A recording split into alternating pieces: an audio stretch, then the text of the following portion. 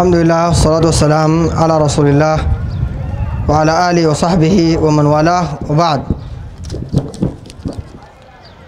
السائل بيقول ما حكم الذين ماتوا في الحرم المكي بسبب الرافعة هؤلاء نحسب أنهم ماتوا على خير إن كانوا من أصحاب العقيدة الصحيحة لأن الإنسان إذا مات على شيء بعث عليه. فمن مات ملبيا بعث ملبيا. ومن مات على صورة معينة يبعث عليها يوم القيامة. وعموما هذه من ال- الأشياء التي تحسب للإنسان من دواعي حسن الخاتمة.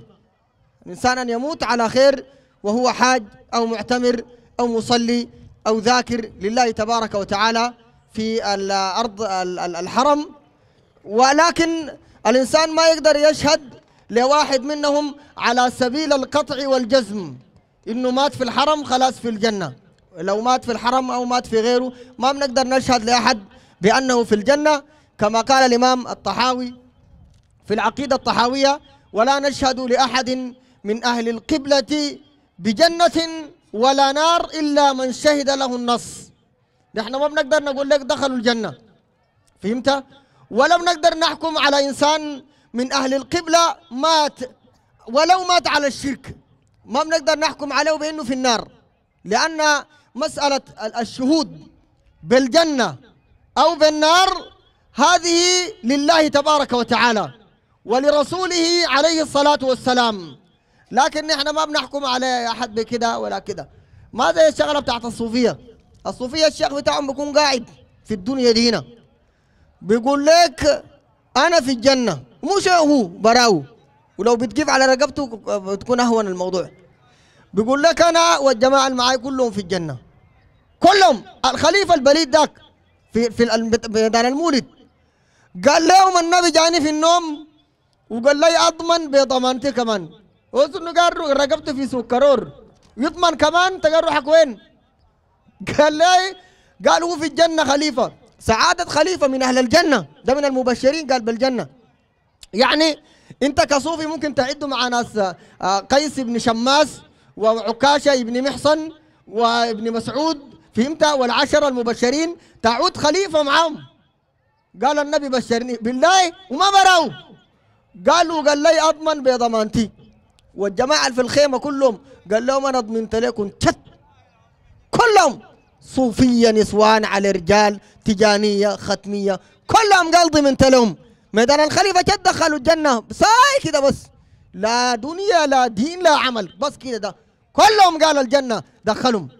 ده أخواننا كله من الزور ومن الكذب واللعب بالشريعة. ما بتقدر تشهد لإنسان بجنة ولا بنار إلا من شهد له النص. قرآن ولا سنة. صحابة شهد لهم الله تبارك وتعالى. ربنا قال رضي الله عنهم ورضوا عن. ربنا قال وكلا وعد الله الحسنى. أي صحابي ربنا وعدوا الحسنى. والحسنى هي الجنة. للذين أحسنوا الحسنى وزيادة ولا يرهق وجوههم قتر ولا ذلة. أولئك أصحاب الجنة. هم فيها خالدون. صحابة شهد لهم النبي عليه الصلاة والسلام شهد لهم المولى جل وعلا في القرآن. أما الصوفية دول ما في دول شهد لهم ونحن لولا الاعتداء على النصوص وما بجوز بشهد لهم بجهنم. اللي بيموتوا على العقيدة دي. لكن ما بجوز زي أشهد لهم. إنما بحكم على كل صاحب عقيدة زي دي بأنه مات على غير ملة محمد صلى الله عليه وسلم. زول يموت يقابل الله تقابل المولى. وأنت تدعو من دون الله ندا على غير ملة محمد.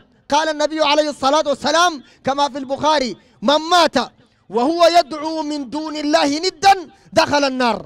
بتنادي الكباشي لمن مت؟ ملك الموت كتم شال روحك وفات. وانت بتقول أوه يا الكباش إيه تلحقنا. ويا ستي نفيسة جهنم طوالي. لا ستك نفيسة بتحلك ولا غيره بحلك جهنم!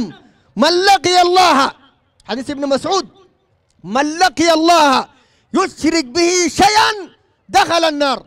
موضوع منتهي. ما في أحد بيقدر يشهد لك بدخول جنة ولا بيضمن لك جنة وأنت تدعو من دون الله أندادا. تعبد في شيوخ ويعبدون في قبور. وجماعة مدفونين لهم ستين سنة. واحد مدفون جوا قبر بيعبدوا فيه وده بسف تراب. فهمت؟ بشيل سفري لأهله بغادي. كل ده من العقائد الباطلة. وده شغل بتاع صوفية. وراقدين. هسه إحنا بس محلنا ده الحمد لله نضيف. وحميدة كان بيجاي طار. مشى وين؟ ما معروف. فات. بس انت شايفه؟ حميدة اظن السوكيني وقف. مشى هناك العربي. والعربي إحنا قاعدين بغادي. انت بتجي سايح حميدة؟ بو مشى هناك العربي. تلقينا ما في ولا شنو؟ برضو قاعدين بهناك. فهمت؟ وما بحلك كل دعاة الباطل ودعاة الشرك في السودان وفي غير السودان هم مخزولون ما عندهم حجة. ربنا قال لا تجعل مع الله إلها آخر. فتقعد مذموما. مخذولا. داعية بتاع الشرك. مخذول انت. وبعدين يوم القيامة ربنا قال ولا تجعل مع الله إلها آخر فتلقى في جهنم ملوما مدحورا. مخزولة دي بتقابلك في الدنيا هنا. ملوما مدحورا في جهنم على وشك. دي بتقابلك بعدين يوم القيامة لو مت وأنت على الشرك بالله سبحانه وتعالى تلقى العذاب بعدين بيقابلك يوم القيامة. على أي حال ما بيجوز الكلام بتاعهم ده. قال الإخوان المسلمون يقيمون أسبوعا دعويا. وين دعوتهم؟ في أخو مسلم عنده دعوة؟ قال يقيمون أسبوعا دعويا. ما في أخو مسلم عنده دعوة. إنما هي دعوة للحزبية. ودعوة للمظاهرات ودعوة للتعبد بسبيل بتاع إخوان مسلمين وده سبيل غير سبيل النبي عليه الصلاة والسلام. ربنا يقول وأن هذا صراطي مستقيما. في سورة الأنعام. يعني إحنا الآية دي نعيد النظر فيها ولا شنو؟ الله قال وأن هذا صراطي. ده بتاع النبي صلى الله عليه وسلم. ده بتاع الرسول عليه الصلاة والسلام. وأن هذا صراطي مستقيما فاتبعوه. ولا تتبعوا السبل فتفرق بكم عن سبيله. ذلكم وصاكم به لعلكم تتقون. النبي ده على طريق واحد كتاب وسنة. طريق واحد عليه النبي صلى الله عليه وسلم. حسن البنا دخل كل الطرق دي داخل دائرة الأخوان المسلمين. كل الطرق دخلها معاهم جوا. حزب تحرير قال لك تجينا جوا هنا. انت شيعي برضو معانا. انت حزب أمة برضو تخش معانا. انت انصار سنة ما فاهم حاجة برضو تخش معانا جوا هنا. قال فلنعمل جميعا كلهم صوفي على أخو مسلم على صعلوق وشفت كله قال فلنعمل جميعا فيما اتفقنا فيه. لحد ما جت ترابي ودخل اليهود والنصارى كلهم قال جوا. اللي قال إبراهيمية؟ يهود معانا نصارى معانا شيعة معانا. كلهم دخلوا الترابي تحت دائرة الأخوان المسلمين قال فلنعمل جميعا فيما اتفقنا عليه وليعذر بعضنا بعضا فيما اختلفنا فيه. اختلفنا فيه ده ممكن تكون انت مختلف مع صوفي في الله. الصوفي بيقول أنا بنادي المكاشفي وانت تقول أنا بدعو الله وحده في الشدائد وفي الرخاء. مش دي اختلفتوا كده؟ حسن البنا قال لك نعمل فيما اتفقنا عليه. خلوها دي. انت تنادي الله وده ينادي وتحسونا ده ينادي التجاني وذاك السيدة نفيسة. كله قال كويس. كله معانا. حسن البنا ذاته هذا الرجل السيء صاحب دعوة الأخوان المسلمين. أكان في ميادين ال- الحضرة بتاعت المولد بتاعهم. أكان بيقعد مع الجماعة وبينشد الإنشاد. بيقول هذا الحبيب مع الأحباب قد حضر. ده النبي صلى الله عليه وسلم قال جاهم. النبي يجيك انت يا حسن البنا؟ انت ما عندك موضوع. النبي يجيك انت ده؟ ومعك شلة بتاعت أخوان مسلمين وشله بتاع الصوفية. قال هذا الحبيب مع الأحباب قد حضر وسامح الكل. لو جا ساي ما الموضوع سهل مش بيجي بس. قال وسامح الكل. سامح أي زول غلطان. انت قلت أدبك قبل كده مع بنت هي بيسامحك قال النبي يقول لك معلش ما في حاجة وأنا غفرت عليك. آها. داك بهناك نشلوه 6 مليون سجنوه 13 سنة. وفكوه برضه قال سامح الكل فيما مضى وجرى. داك صف تراب ونادى الشيخ ودعا غير الله وحلف بغير الله. سامح الكل قال كلهم سامحون فيما مضى وجرى. ده حسن البنا دي عقيدته. باقي لك ده نافع دار يجيب دين للأمة. الأخوان المسلمين ما بجيبوا دين ابدا. عشان كده العلامة أحمد محمد شاكر عالم من علماء الحديث قال الإخوان المسلمون هم خوارج القرن العشرين. ذيل الخوارج. أفرزوا داعش أفرزوا جبهة النصرة أفرزوا أسامة بن لادن أفرزوا كل التكفيرين أفرزوا هجرة والتكفير عندنا هنا في السودان. عباس الباقر الخليفي كل الجماعات المتطرفة والتكفيرية كل هذه أفرزتها. جماعة الإخوان المسلمين خرجوا من كتب سيد قطب ذاك الرجل الخبيث قبحه الله في الدنيا والآخرة. الرجل ده أفرز الفكر التكفيري. كله نابع من دائرة الأخوان المسلمين. وكلها جماعة بتاعت بدع وضلال. عشان كده ما يجي يقول لك قال قال عندهم أسبوع دعوي. بمناسبة ذكرى 67 لاستشهاد الإمام البنا قال وتأبين الأستاذ أحمد سيف الإسلام تحت شعار. ما عارف الشعار ما ظاهر. شنو كده؟ البنا رحل.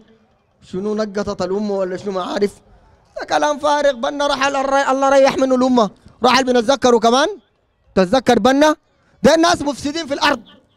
جماعة مفسدة في الأرض. فهمت كلامي؟ ما بتذكرهم بخير ولا بتتذكرهم. رحل الله لا عادوا أراح الله منه العباد والبلاد والشجر والدواب. نتذكروا بخير. قدم شنو؟ ابن تيمية هو. هو ابن تيمية ما بجوز تعمل له احتفال سنوي. ابن تيمية بتعرفوا؟ شيخ الإسلام شيخ الأمة كلها وعالم التفسير وعالم الفقه وعالم المنهج والعقيدة وكله. ابن تيمية شيخ الإسلام ما بجوز تعمل له احتفال سنوي؟ هسه لو جينا عملنا احتفال سنوي بابن تيمية ولا بمحمد عبد الوهاب احتفال سنوي. ما بجوز ده العلماء. خلي كمان تحتفل لك بهذول مجرم مجرم جنى على الأمة الإسلامية والفساد اللي في العالم ده كله بسبب حسن البنا. تيجي تحتفل به كمان؟ ما بجوز.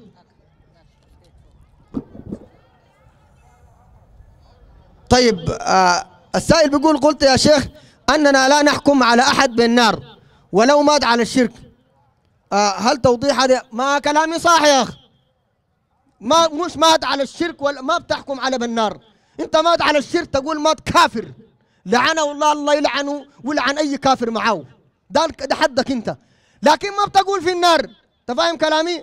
النار دي أنت ما ماسك مفتاحها. أنت ما بتدخله بتمرق النار. فهمت؟ أنت حدك تحكم على إنسان. مات على الشرك تحكم عليه إنه مشرك. كافر ملعون. انتهى الموضوع على كده. مات على الشرك. لكن كونك تحكم عليه بأنه في النار أو بواحد مات على الإيمان تحكم عليه بأنه في الجنة ده ما بيجوز لك أنت. وراجع شرح العقيدة الطحاوية. للإمام الطحاوي قال ولا نشهد لأحد من أهل القبلة بجنة ولا نار. فهمت؟ ما بتشهد ليه وأنت؟ تحدك تشهد آه بكفره ولا تشهد بأنه مسلم؟ ده حدك أنت. أما جنة ونار ده أنت ما عندك فيها حق. ما عندك فيها حق. ولعله يكون استغفر في آخر حياته وأنت ما تدري. لعله يكون استغفر في آخر لحظات حياته وأنت ما تعلم. ولعله يكون من من أهل الأعذار. وأنت لا تعلم. أنت بتعلم. لعله يكون معذور عند الله عز وجل. كقصة الرجل. ده في صحيح البخاري. قال لاولاده أنا إذا ما مت أنا لو مت يا أولادي فاحرقوني. ولعوا نار ولعوا حرقوني في النار. ثم اسحنوني. دقوني دقاق كده كله. عظم بتاعي ده. ثم ذروني في اليم. ثم أروا يوما شديد الريح. شوفوا يوم فيه قطاعة شديدة فكوني في الهواء مدخل. قال لئن قدر الله علي. قال الله لو قدر علي ليعذبني عذابا. ما عذبه أحد من العالمين. الكلام ده كفر ولا ما كفر؟ ده كفر صح؟ ده كفر ما فيه كلام. ابن تيمية قال شك في قدرة الله على على إعادته وبعثه بعدما ذري ده شك في قدرة الله.